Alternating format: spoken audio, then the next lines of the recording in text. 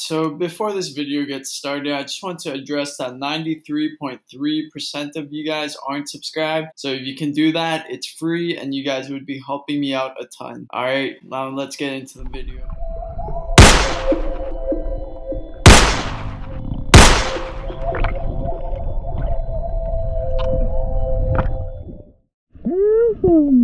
So this dive started a tad bit murky as you can see here.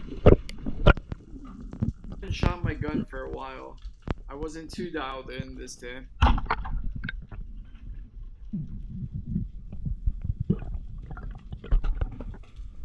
I ran into this school of big-eyed barracudas, but I decided to let them live this day.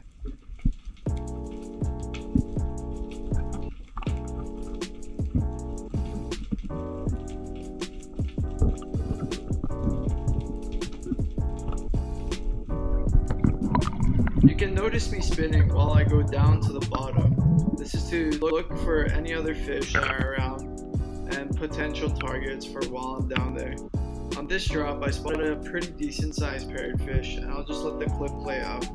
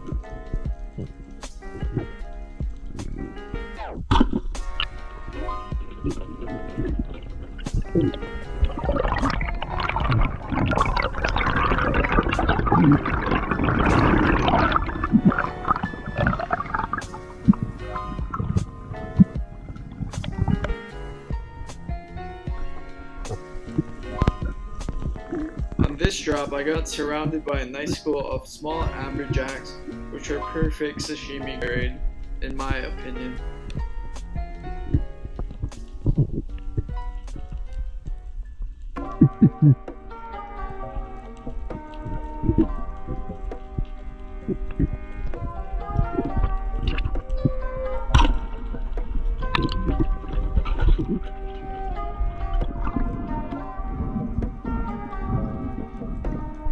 Oh.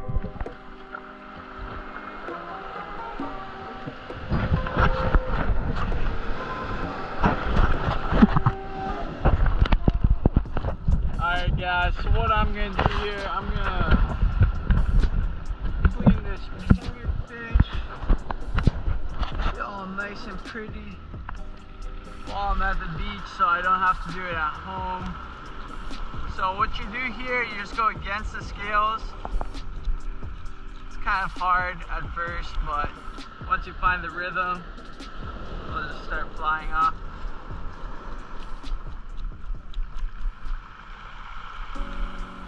Alright, so this is what the final product of your skinned uhu or parrotfish should look like. See that? There's no scales on it. And yeah, I'll catch you guys back at the house. Alright guys, so I know it's been a while, but I'm finally back with another catch and cook. So this is today's catch. We have a small amberjack here and then an uhu or parrotfish that I scaled and gutted already at the beach. And yeah, I'm just gonna get into it. I'm gonna fillet up this guy and then probably just cut this guy into chunks. So stay tuned for that.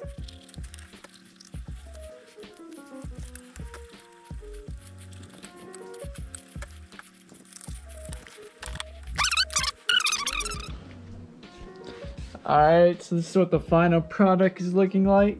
I end up just scoring the uhu, which means you cut slits. So I did that about, I'd say like every centimeter so it cooks evenly. And yeah, I'm gonna be pan frying this guy and probably make some sashimi with the fillets off the AJ. Alright, so you're gonna be cooking the parrotfish on butter for this recipe. So just absolutely cover the pan in butter. Put the heat a bit down. And yeah, lay this sucker in. Make sure that the butter gets into all those slits, gives it that extra flavor.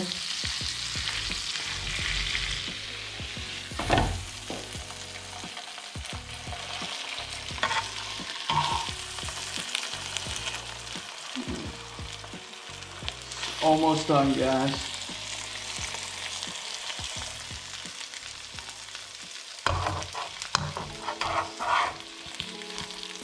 Mm. Alright, so to top it off, we're gonna add a little bit of teriyaki shoyu. That should be enough. Let it seep through the fish. And yeah, final product coming soon. Okay, so this is the final product, guys. I know it does look a little burnt, but I'll give you guys a little taste test.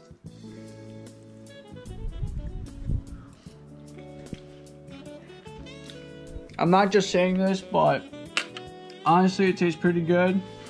And if you guys haven't subscribed yet, you guys might as well consider it. Hope everybody has a great day and stay tuned for the next one. Peace.